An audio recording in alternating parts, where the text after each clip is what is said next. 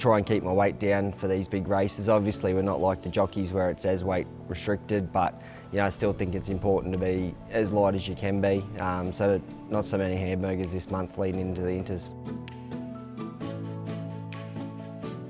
Durability, toughness from an animal perspective. It's a unique series, it's four races in two weeks. You have to be able to sprint, you have to be able to stay, you have to be able to recover. The Inter Dominion was invented not to be easy.